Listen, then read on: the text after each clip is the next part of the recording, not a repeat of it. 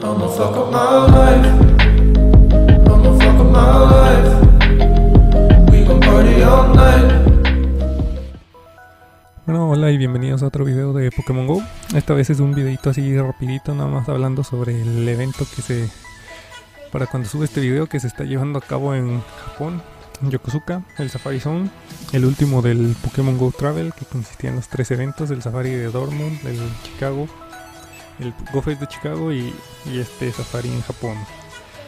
Bueno, aquí podemos ver, es el, el artículo que publicaron en la página desde que lo anunciaron ya a principios de julio. Pues en sí lo que dice sería entrenadores, el tour de verano llegará a su fin con el evento de Safari Zone en Yokosuka. Comienza el 29 de agosto y termina el domingo 2 de septiembre en dicha ciudad en Japón, en la provincia de Kanagawa. Mm, es una ciudad increíble, conocida por su cariño a la cultura americana y su hermosa naturaleza.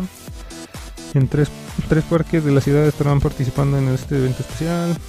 Podrán encontrar Pokémon que no se ven normalmente en Japón, como Tropius y uno y muchos más. Mm, ¿qué más? Es un- Es un evento gratuito, pero necesitas aplicar para las entradas en el sitio web. Eso ya fue en aquel entonces. Aquí mismo dicen las fechas a principios hasta mediados de julio. Luego se sortearon las entradas entre todos los que aplicaron para evitar que excediera la capacidad y evitar pues fallas como en el primer GoFest. Entonces solo con ese código de acceso podían ingresar. Eh, se llevará a cabo en 5 días. Pero su entrada es únicamente para un día y se indica pues en dicho acceso. Y aunque consiga di- diferentes boletos, solo podrá encontrar a los el spawn especial el día que se reclama el primer boleto, es decir, pues ahora sí que uno por cuenta. Eh, ya en este párrafo final involucra lo que es el asunto global.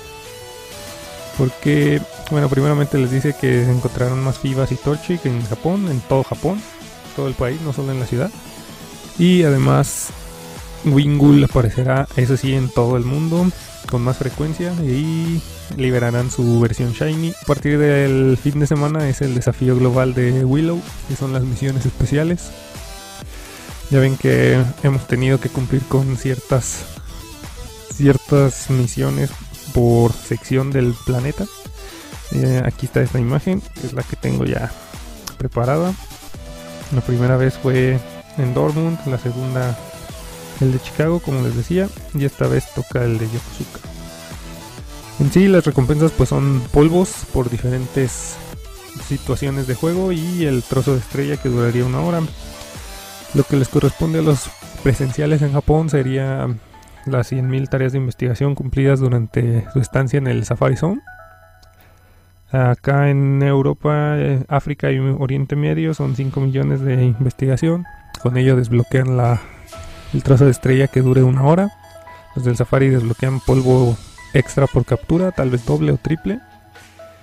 En cuanto a mi zona, el continente americano, igual 5 millones de tareas de investigación y bonus de polvo por explosión, eso me interesa a mí.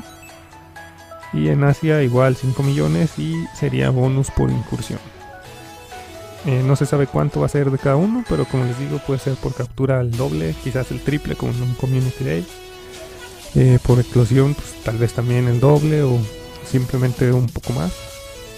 Y por incursión la, la vez que hubo bonus de polvo por incursión creo que daban 5000. Entonces es probable que sea una situación similar. El bonus desbloqueable, pues ya sabemos, ya pasó con el primero Articuno, el segundo Zapdos, este debe ser Moltres, es lo es obvio. Y eso no es lo más importante, sino que ahora ya que se cumplieron las tres, los tres eventos y se van a cumplir los tres bonus desbloqueados, está el Ultra Bonus que pues se ha rumorado mucho, se especula demasiado también sobre ello. Algunos dicen que el Pokémon de cuarta, que era un Pokémon especial, que Mewtwo Shiny y todo eso. A mi parecer, pues lo de cuarta queda descartado porque existen siete generaciones, casi ocho ya de Pokémon. Es obvio que te las tienen que dar en algún punto del juego, así como han ido, tal vez algún futuro un poco más frecuentemente o no lo sé. Pero pues no te van a dar como recompensa algo que están forzados a otorgarte en el juego. Entonces, lo que a mi parecer y creo que es lo que va a suceder es lo de Mewtwo. Mewtwo Shiny, ya sea que lo liberen como el, el día de las aves, que todos los gimnasios aparecen y con posibilidad de Shiny, o que en- durante un lapso de tiempo en las incursiones X exista la posibilidad de que sea Shiny. Eso es ya más complicado. Porque supongo que si van a liberar un Ultra Bonus va a ser para que ya todos los que no lo han logrado obtener a Mewtwo a estas alturas pues tengan la posibilidad de tenerlo y de obtenerlo y, y además eh, con ese plus de poder llegar a obtenerlo en su versión shiny. Ya después de eso supongo que habrá cambio en las incursiones X. Tal vez ingrese otro Pokémon o, o cambien la mecánica porque está medio complicado por ejemplo aquí donde yo juego pues Mm, nada más nos dieron en la versión de prueba dos veces y de ahí quedó borrado el pueblo de- del mapa. Eh, esto sería todo por ahora en el video informativo. Como les dije, videito rápido. Eh, ahorita ya regresó la compu, ya voy a poder hacer una que otra cosilla, pero yo creo que eh, mañana algo así. Y solo para comentarles, estoy grabando cositas de Pokémon Go para un videito, yo creo, también mañana o pasado, a ver cuándo puedo subírselo porque voy a estar ocupadillo. Y pues sería todo. Suscríbanse, hay que hacer crecer esto. Eh, denle like también si les sirve la información. Eh, sugerencias, todo lo que gusten, pueden comentar. Ya estoy saliendo de esto de estar enfermo, ya puedo hablar mejorcito, ya le vamos a meter más ánimo a esto para no hacerlo tan soso y tranquilo. no quiero forzar la garganta ni nada. Y yo creo en estos días estoy grabando el video de presentación del canal ya para ponerlo por ahí, que sepan de qué se trata bien, ya estando en, bien- en buen estado.